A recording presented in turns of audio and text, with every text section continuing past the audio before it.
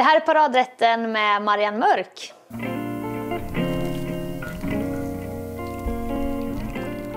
Välkommen. Tack! Hur mår du? Jättebra, jag undrar hur det ska gå bara. Men du kan väl laga mat som ingen annan? Nej, det kan jag inte att jag har haft restaurang, men jag är ju lite besatt av mat. Ja. Eh, Det är jag, så jag tycker om att röra ihop och sådär. Och jag smakar endast inne i munnen hur det kommer bli. ja. Om du undrar vad det är som skramlar och väsnas. Det här är Kalle Möller. Det här är Kalle. Hej älskade Marianne. Jag är så glad åt dig. Jag är så glad åt att du är här. Och jag har faktiskt en sak till er båda. För att jag, Va? alltså jag gillar ju att styla. Det finns ju ett begrepp som heter bröd och vatten. Det kan jag tänka mig är din och Sofias mentalitet. Så lite bröd att snaska på innan. Nej, Nej. inte bara bröd utan lite gojs. För det hade du beställt.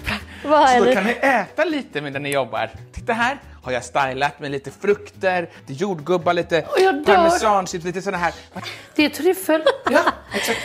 Var ska den stå? Tryffelsalom hos mig. Ja, Den ska stå här. varsågod. För vi små äter när vi lagar. Och nu Tack ska Kalle. jag, nu ska jag avlägsna Alltså mig. tusen tack Kalle. Får jag bara, Marianne? Alltså det här är tryffelsalami. Och vad tunn den var. Ja, för den är så jävla dyr. Ja. Jag tycker den är, den är lite vuxen är den. Men vad är nu din paradrätt?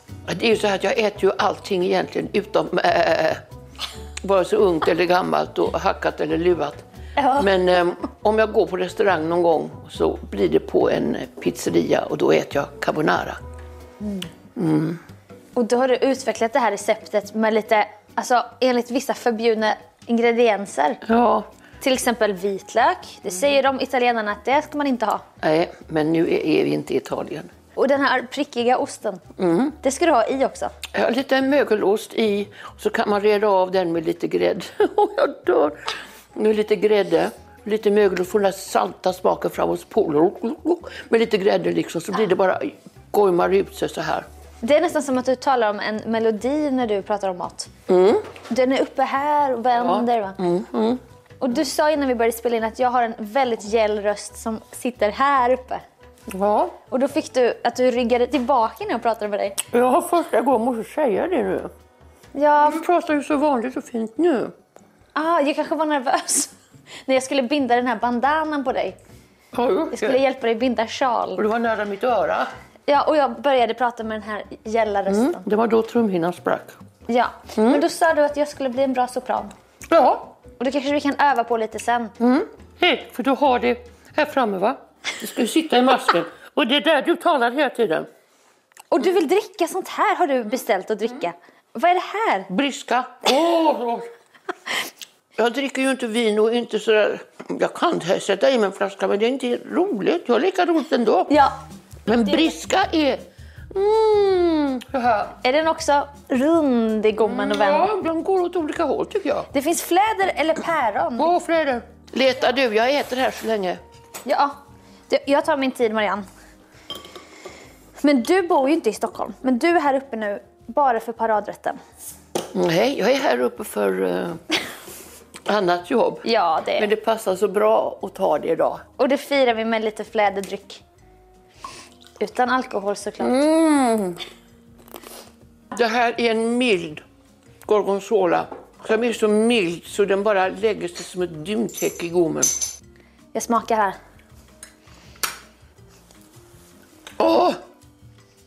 Oj, Marianne, men vi, vi måste spara lite Aurora till paradrätten. Ni vet inte att jag har gått på diet i fem dagar och bara har levt på pulver. Nej, Så jag är bara... Alltså idag går allt åt helvete. du får svära här. Det här är så gott så att jag är alldeles lycklig. Men varför har du gått på pulverdiet kära du? Man kan inte väga 116 kilo. Det kan man väl? Mm, säg du, din lilla smala strip. Jag har också gått på diet hela våren Marianne. Åh, vad jag är lycklig. Jag är riktigt lycklig nu. Känner du briskan? Var det gott? Det var frisk och god. Men säg det då. Den var, åh, men jag vill, jag vill bara beundra dig hur du Nej, talar. det är inte... Ska jag stå här och vara nasal och förstöra Nej, men det här är ju en dryck som man blir galen av. Fattar du? Att man kan bara häva i sig. Gud, så gott det här är. Och jag, jag, jag är glad att du inte att du bryter din diet för, alltså för det här. Och klart. Framför kameran liksom. Ja, Men jag kanske svimmar. Åh, där är ju gorgonzola. Men det är den du har, det är ju den du har ätit. Nej, vad heter den här? Parmesan. Parmesan. Den är underbar. Hårdost. Men, men jag måste fråga dig, får jag ta dig på axeln så här? Ja. Ja. Jag är sprutad och eh, har skydd både bak och fram. Du har berättat tidigare om att du har blivit igenkänd för Wallander. Det är det folk kommer fram mycket. Men har det bytts till Bonusfamiljen? Ja. Ja, och vet du vad Kalle har börjat bli igenkänd från? Paradrätten. Och han är så mallig för det.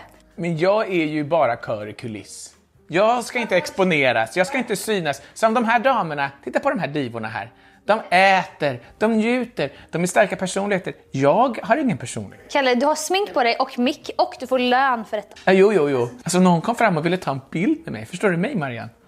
Nu får vi tugga ur här. Vi? Vad, vad är det här för trevligt? Underbart! Varför står du och petar i allting? Kör in den i munnen. Titta! Åh! Men hur börjar vi laga den här carbonaran som bryter mot alla regler? Som får italienarna att grimasera så här.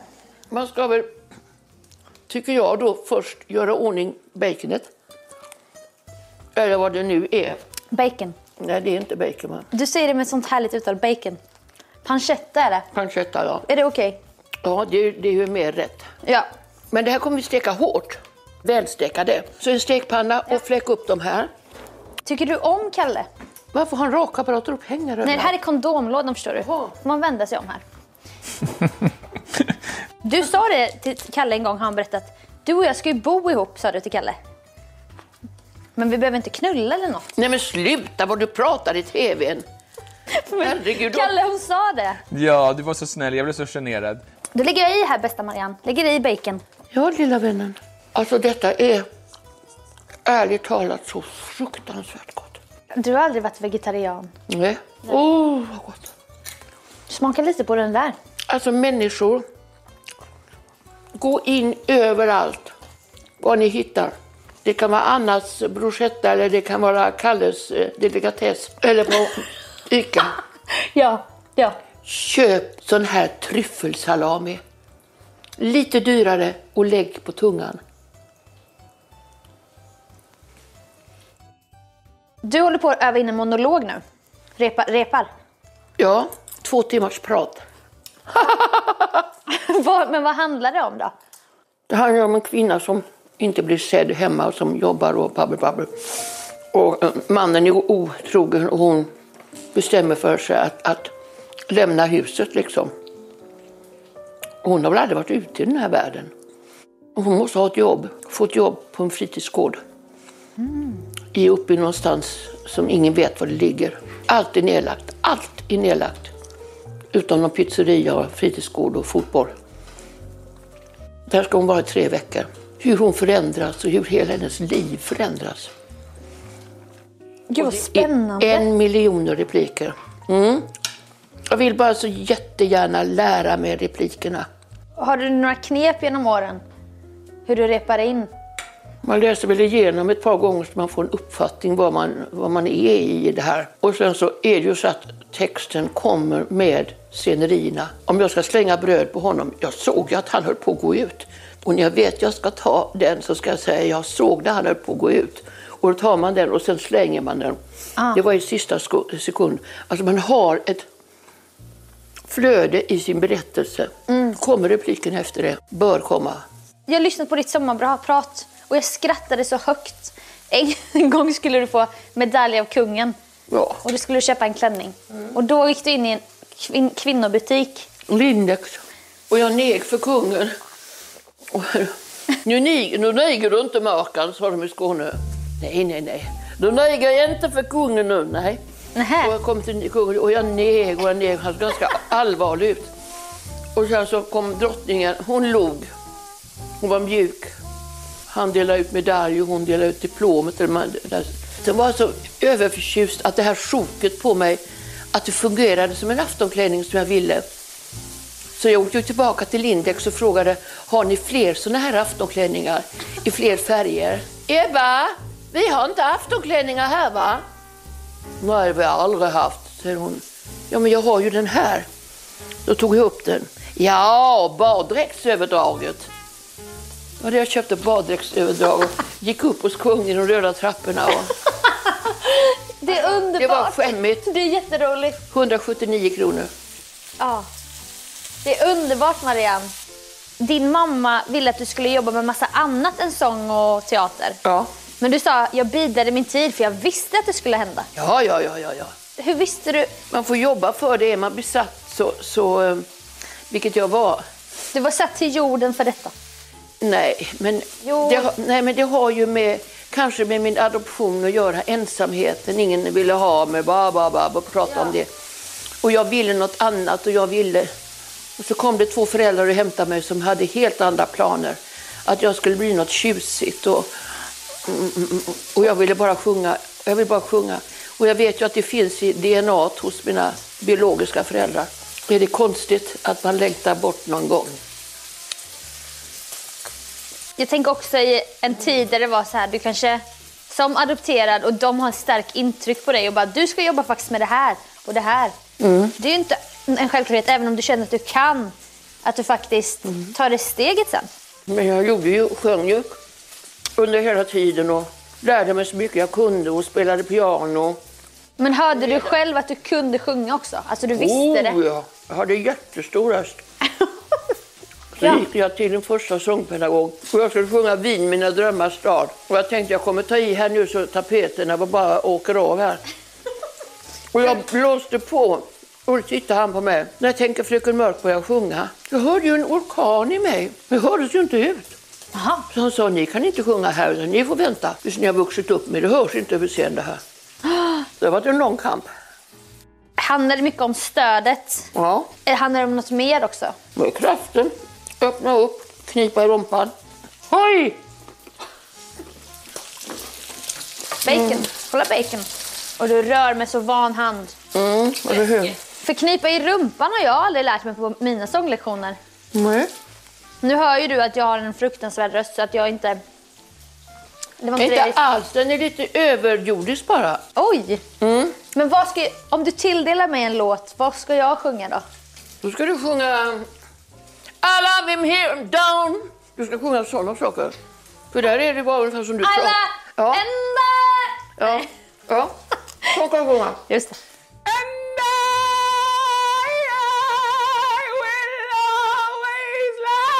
Så, typ. Är inte hon död? Jo. Hon är död. En gång var jag rädd för mörkret men det är jag inte mer. Kristina från Duvemåla, hon dör. Jag har gjort den 500 gånger. Ja! Ja, du spelade ju Slinkan, eller vad man säger. Nej, jag spelar inte horan i Västergöl. Jag spelade Förlåt. Tina-Kajsa, hon kom från Öland. Om du tar bort dina konsonanter så var det riktigt bra. Minns du vardagen när jag kunde bergar där du går? Jag gör för teatraliskt. Nej, du, lå- låt det bara en känsla. Det ska bara flöda ut. Minns du Duvemåla hage? Ja, du kan till och med... Minns du Duvemåla hage? Duvemåla hage. Det är liksom ingen...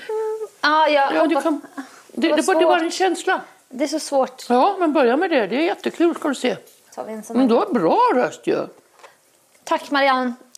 Ska vi hitta något papper eller en gammal ägglåda och lägga upp det här på? En gammal ägglåda. Absolut. Ja, som håller fettet. Jag älskar dig Marianne. Vad har du varit hela mitt liv? Minns du Duvemåla? Älskar du också vildgräs? Nej. Vilken är vildgräs med? Här fanns bara Vildgräs fanns bara bete åt hjort och rådjur och älg nu växer här bete. Bete. Do, do, don, do, do, don, do. Och vad är hushållspappret? Au! Förlåt Marianne! Knep jag din sarong? Jag ska hämta toapapper om det går bra. Jaha, Finns inte hushållspapper här? du har inte hushållspapper i köket? Nej, jag har inte det. Du har inte det? Men nej. det är ju ett compact living jag har här. Ja, men det går säkert in. Fattar du läget? Fattar du läget? Måste jag gå in? Hon kommer tillbaka. Det här är alltså när man sparar så kan man också skära av hushållspapperna och då räcker det till två eller tre rullar. Skål! För dig. Nej, För... dig Och mig. och Kalle. Okej då. Här sitter vi i ditt hem och har det trevligt. Vad gör du här? Jag vet inte. Jag arbetar. Jag såg väl en paus eller? Jag vet inte. Jo, jag vet varför du är här. För du är här för att berätta att vi har en glad sponsor som är Volt. Volt, Nordens största matleveranstjänst som finns, i, hur många städer? 15 städer. Vilka är de då? Det finns i Karlstad, Växjö, Malmö, alltså you name it. De står ju här nere också för alla som inte ser. Men då undrar jag, du som alltid stoltserar om din begåvning i det språkliga, svenska, fonetiska sättet att uttala sig och uttrycka sig så skulle jag vilja göra ett litet test på dig. Kan du berätta till exempel hur det låter om man beställer på Volt om man bor i Norrköping? Ska vi beställa från Volt? Okej, det var väldigt bra. Jag vet. Malmö. Kalle, du ska inte ens ge dig Okej, på att säga. Malmö. Ska Ja. vi beställa från Volt? Ska vi beställa från Volt? Det kanske är ett Skåne generellt, men Malmö ligger i Skåne. Hon är duktig. En till, en till. Nej. Okej, Umeå. Nej, ge mig Karlstad. Okej, Karlstad. Eh, ska vi beställa från Volt? Ska vi beställa från Volt? Det tycker jag ni ska göra. Koden är på radrätten. Du får 100 kronor på första leveransbeställningen som ny kund. Tack Volt. Nu får du gå och jobba. Du kan inte sitta här hela tiden. Tack du så ska vila dig. jättemycket. Tack så jättemycket. Gå nu så att du inte blir utskälld. Det är sant, Kalle. Hej då. Tack, hej. Alltså jag har glömt av hur gott det var. Det blir väl aldrig mer pulverdiet, Marianne? Lova mig det. Nej, det här ska vara pulverdiet. Jag tror inte jag ska gå runt och springa här med överkilo. Men det, fun- det funkar ju inte i längden, Marianne. Var- Varför säger du så? Jag, har ju, jag ska börja kämpa nu. Ja, men du kan kämpa. Du kan äta riktig mat. behöver man inte kämpa. Det vet väl inte du om jag kan äta riktig mat? Det är som att säga till en alkis, drick bara en sexa om dagen. Du kan väl äta fisk, kyckling, Nej men, det är salat. inte, ja, men då är det ändå kört ju. Då tar man ju efterrätt sen. Du fattar ju att då är det kört. Så det ska inte vara någonting i fast Ska vi prata här eller ska vi göra någonting? Du vill ha såna här tunna spaghettini? De har koktid bara tre minuter, så snabbmakaroner. Mm, Därför är det. Men du kan ta fram en gryta, hälla upp vatten och lägga i salt och olja fast man säger att det ska inte vara salt Åh, det ska inte olja i. Och Spagetten blir ju mer lätthanterlig om man gör den i olja. Ja, jag vet att en kock dör. Men vi sa också att vi skulle göra en spaghetti som inte var helt normal. ja. Den är inte öppnad. Eller Jo, den är öppnad. Det är sån här konstig pip. Det är bara att... Va? Typ. Nej, den är öppen här, kolla. Ja, det var bra. Jag kör så säger du stopp då. Stopp. Och vitlöken vill du att jag gör? Fint, fint, fint, fint. fint. Finhackad? Ja, eller ska det vara crushed. Och vad gör vi i den där lilla då? Där ska vi göra lite som egentligen inte alls har med carbonaran att göra. Att vi tar denna underbara osten och så lägger vi ner den och det kan folk ta om de vill. Nej, men jag, jag tänker att målet är ju nu att alla som tittar ska ju laga detta idag. När de ser det här. Okej, Söndagsmiddag. Trygg söndagsmiddag med Marianne Mörk. Mörken. så det räcker att göra så här. Alltså jag har inte ont av att få en vitlöksgrej i munnen. Nej. Det här är ju en carbonara som bryter mot alla regler, som sagt. Så det är väl bara att köra på. Men har du haft restaurang? Ja, vägg i vägg med Malmö Opera. Ah. Operarestaurangen. Så du både sjöng opera och bossade i köket? Nej, jag diskade. Vad var paradrätten där då? Oh, vi hade något som var jättegott. Det var, ehm, och man lyckas nu med att göra de här kycklingfiléerna, kycklinglåren är ju bäst. Och så gör man currymajonnäs och strör bacon över. Som en nattamat. Åh! Jag dör, förstår du? ris? Nej, bara den där lilla saken. Men just den här stekta grillade kycklingen och så currymajonnäs på. Och sen bacon, knaperstek Ah, bacon. ovanpå det. Bacon, bacon, bacon. Vad säger du? Bacon. bacon. ja. Bacon. It's a bacon on the tree. Men jag vill prata om en grej, men jag vill inte prata om det som alla alltid vill prata om med dig. Mina Kinderägg? Ja, inte. Vi ska inte prata om det. Nej. Nej, men vi ska prata om att... Om mat? Ja, men vi kan prata också om annat. Men att du är en samlare, det kan vi prata om utan att prata om Kinderäggen. Ja. Alltså hon har jättemånga Kinderägg. Ni får läsa på någon annanstans. Men jag har det samma drag som dig, att man inte kan slänga saker. Har du också samma? Sentimental. Nej, inte ett dugg. Men varför samlar du då? Det kanske kommer år. Du vet inte vad du vad det är? Jo, kanske missväxt. Du har fastnat i Kristina. Ja, ja, ja. ja. Här fanns bara vildgräs. liksom. Men, nej, men jag först, den stora eh, gräshoppsinvasionen, eh, den här bibliska. Ja. Att det blir ett oår. Pappa var ju ute på sjön och jag vet att när kriget kom så blev han torpederad med en båt som han var på och um, den sjönk. De kom i livboj och de såg när båten bara ställde sig upp och hela fören Titanic. åkte av. Nej, Lima hette hon, var Jonssonlinjen. Och jag frågade pappa, hur kunde du leva? Hade du någonting sparat? Nej, vi hade whisky och Mariekex, sa han. Sen blev de upplockade av normen. Då planterades ett frö i lilla Marianne. Att du skulle alltid ha grejer. Om det kom ett år. Ja, jag skulle ha grejer och då läste mamma i Handels, Göteborgs sjöfarts och handelstidning. Där fanns det en liten serie om Kapten Caddy. Och han åkte runt och kom vilse på olika öar. Men så kom han till en ö som var så rik på allting. Så han kunde åka in där och han var så ledsen. Han fick hönor med sig. Han fick en papegoja han kunde prata med och jättemycket apelsiner. Och jag kommer ihåg det, tänk om pappa kunde ha det så har han ett lager. Just det, jag hade alltid lager förut. Jag ville gå ut i mitt källarförråd där stövlar ska stå och snöskotrar och sånt där. Och där stod det liksom spaghetti, tomatburkar, det stod det pasta, det stod det ja, allting på rad. Jag ville Ja. ha ett förråd. Det är nog bara att ing, ingen ska få vara ledsen och vara utan liksom. Nej, det är väl jättefint. Mm. Så det är inte så här att du sparar på alla gamla födelsedagskort du fått hela livet? Aldrig i livet. Eller gamla rosor från din första premiär? Nej, nej, nej, nej. nej. Nej, då var vi inte så lika. nej. Som jag trodde. Det där är nostalgi. Ja. Det finns inte i min kropp. Men, så du är helt osentimental? Ja. Du vi kan slänga grejer. Det här kan vi slänga. Men vad är det här då?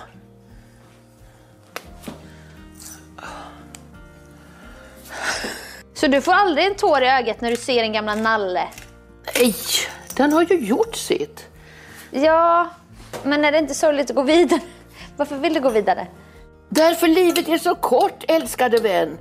Jag tänker nästan på döden varje dag, men jag tänker på den som något kul.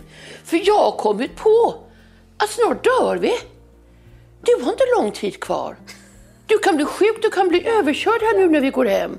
Ja. Nej men det är inte hemskt. Det är som det är.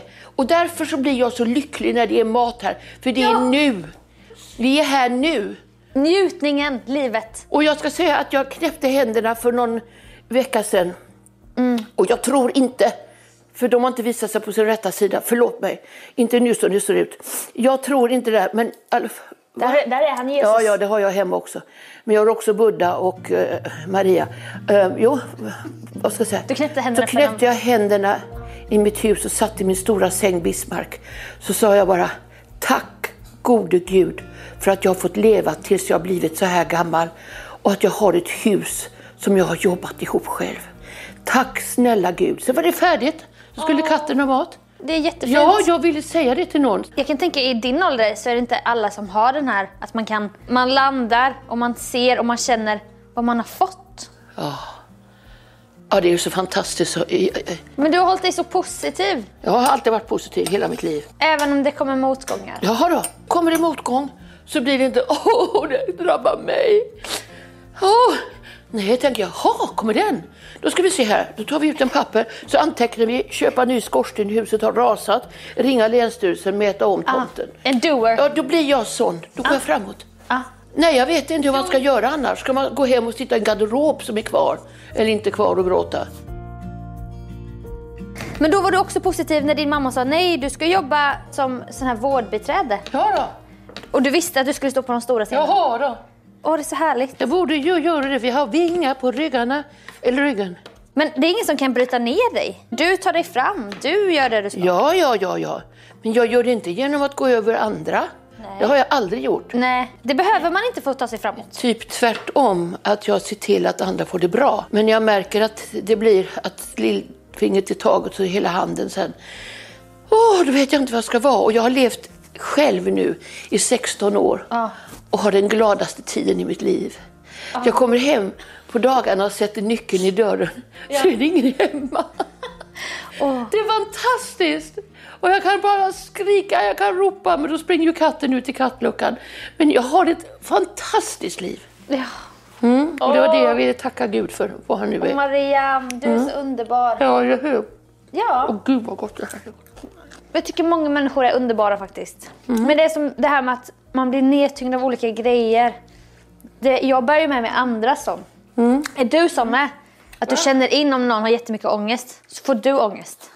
Jag får aldrig ångest älskling. Då tar jag den människan, nu låter det här larvigt, men då tar jag den här människan under mina vingars beskydd och försöker knäcka nöten.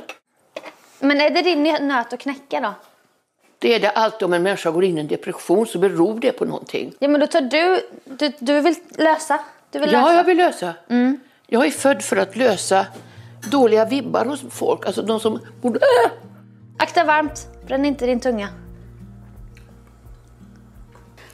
Men jag vill också lösa dåliga vibbar hos folk. Och det vill Kalle också.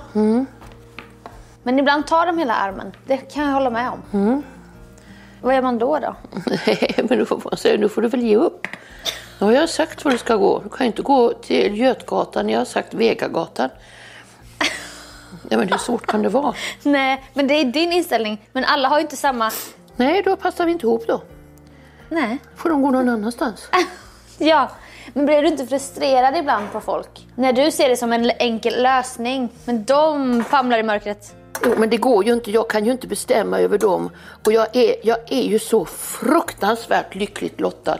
Kan inte du väl ner den där? Jo, Kalle, har du någon fråga till min bästa Marianne Mörk? Åh, Gud, vad fort de pratar. Mörken. Jag tycker det är spännande det där med, du sa att du har det bästa livet, du kommer hem och du är ensam hemma och det, har ditt bästa liv. Begreppet ensamhet, är du, hur förhåller du dig till det? Det finns inte. Jag, jag är aldrig ensam, jag är själv. Och eftersom jag har varit så på med andra och lagt mig under och vårdat och sett till så får jag äntligen vara själv. Och allting jag gör är för mig själv. Och jag får så mycket kraft av det. Sen har jag ju mycket kraft som helst och, och, och mm, göra andra saker liksom. Men jag är inte utsugen. Jag förstår precis, det låter toppen. Jag känner så till 90% kanske av min egen tid, att jag aldrig är ensam. Men ibland så kommer det till mig. Och då undrar jag om det har med sällskap att göra. Eftersom jag känner igen mig helt i dig, i vad du säger, så kan jag ändå ibland uppleva en ensamhet. Och så tänker jag så här, aha, är det för att jag kommer hem till ett ensamt hem? Jag tror ju inte det själv, men jag är ju, jag är ju under ut, utbildning. Livet är ju en skola. va? Och du drabbas aldrig av en känsla av ensamhet. Men jag har ju levt ett helt liv med så fantastiskt olika människor och om man ska säga gått igenom. Så när jag äntligen blir själv så kan det inte bli ensamhet. För um, aldrig att jag ska leva i tvåsamhet igen. Aldrig. Funkar det inte. Livet är för fantastiskt för det. Det är ingen som frågar varför jag kommer sent hem. Det är ingen som frågar varför, varför har du nagellack på dig. Ska du gå i byxor idag? Jag, jag slipper allt det där. Jag är fri. Det är härligt. Och vill jag så kan jag säkert sätta ut en annons året runt.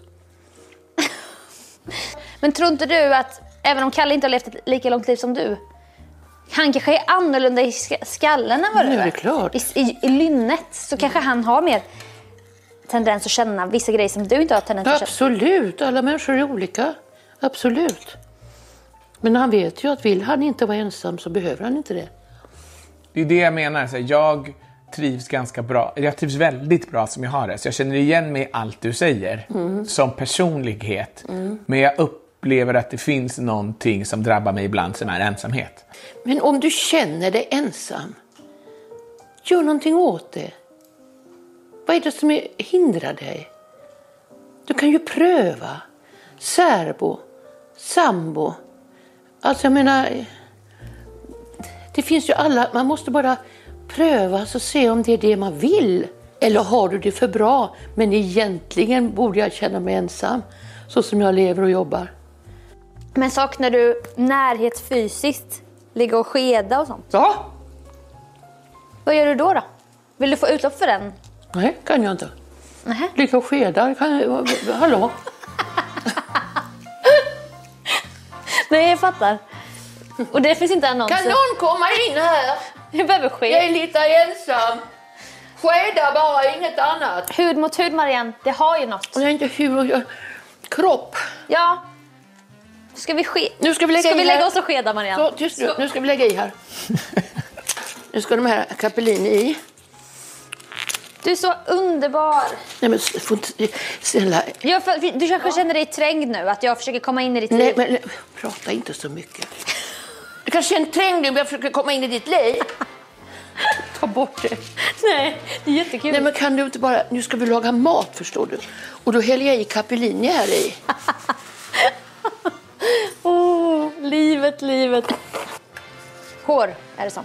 Vem dukar matsåsbordet? Det gör jag.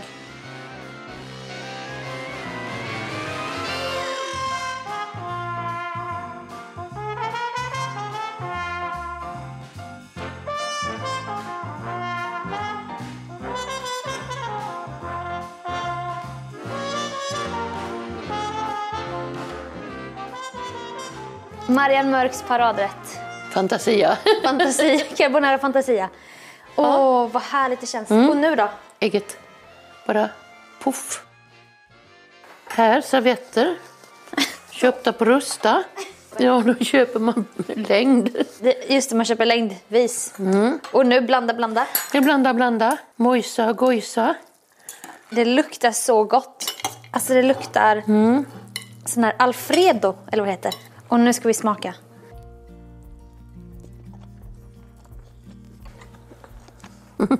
Mm. Mm. Mm, Marianne. Nej, inte mitt namn. Mörken. Mörken. Lite mer salt på va? Åh, Åh, det var så gott. Visst är det gott? Ja, det var jättegott. Det var Och så verkligen... tar du så lite, du är tvungen att göra om. Vadå? Ska, ska jag göra om? Så här har du salt. Åh, Och din par... galen. Det var... Alltså tänk det här efter pulverdiet i hur många dagar? Fem. Fem dagars pulverdiet. Mm. Mm. Mm. Det, det är osten faktiskt. Det var den. Det är såsen också som krämar ihop det. Och det är första gången någon har sagt till mig så här mycket i paradrätten. Och det tycker jag är lite härligt. Att du, att du säger till mig. Om då? Du säger så här, du pratar så mycket. Och så. Nej men förlåt. Nej men det är så bra. Nej. Jo, Marianne, jag säger det här som en Jag jätte... kan inte försvara mig med mat i mun.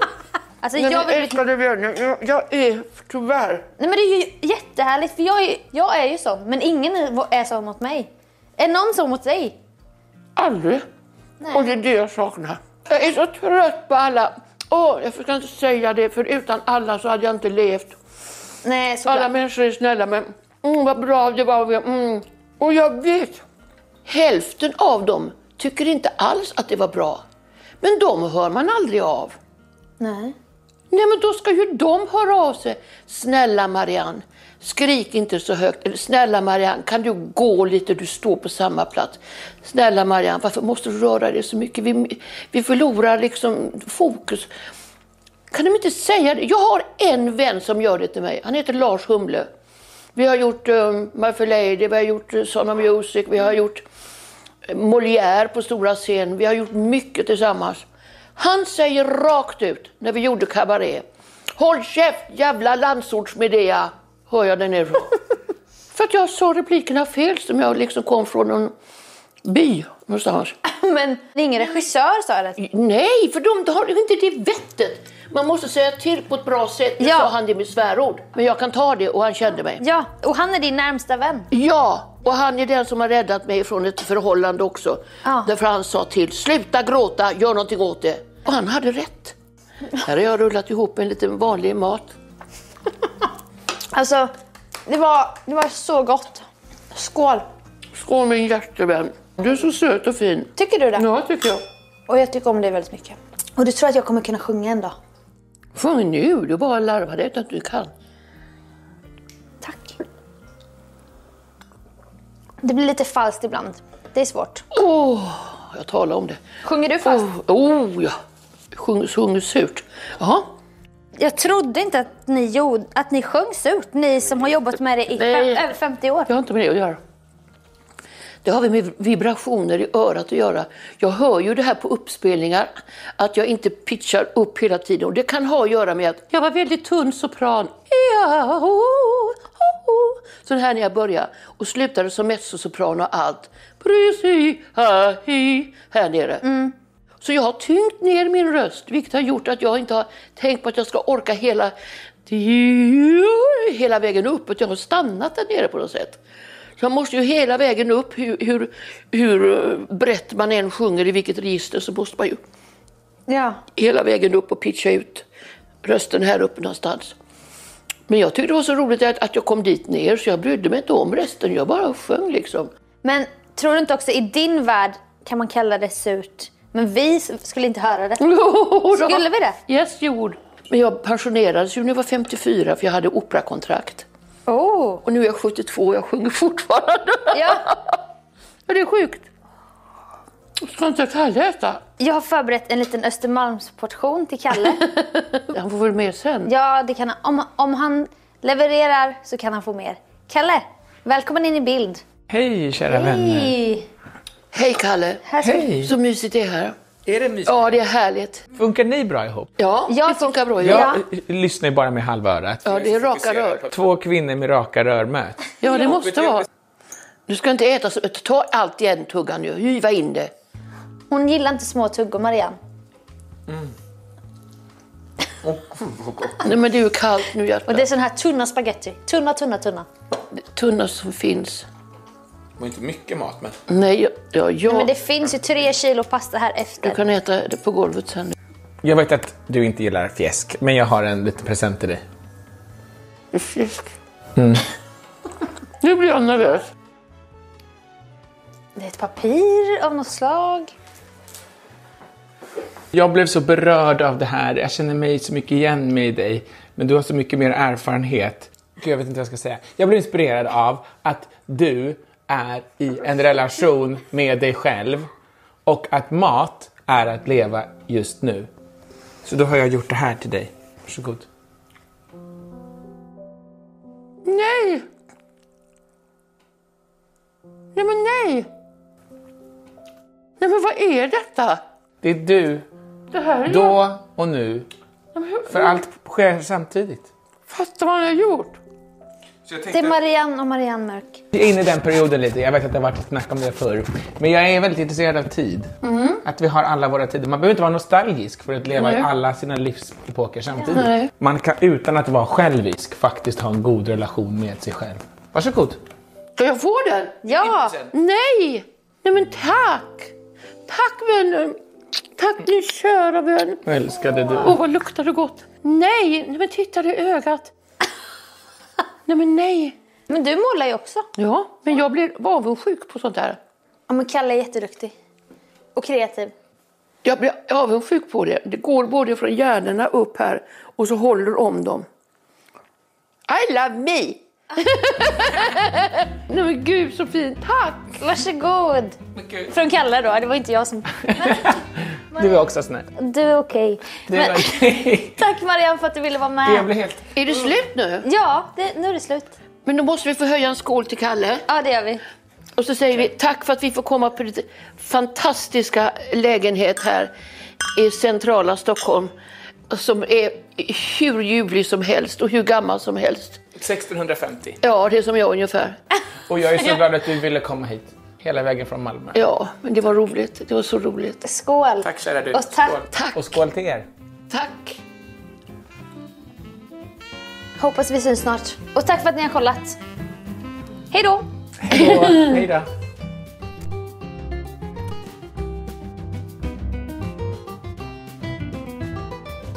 Det kanske är en trängling om jag försöker komma in i ditt liv.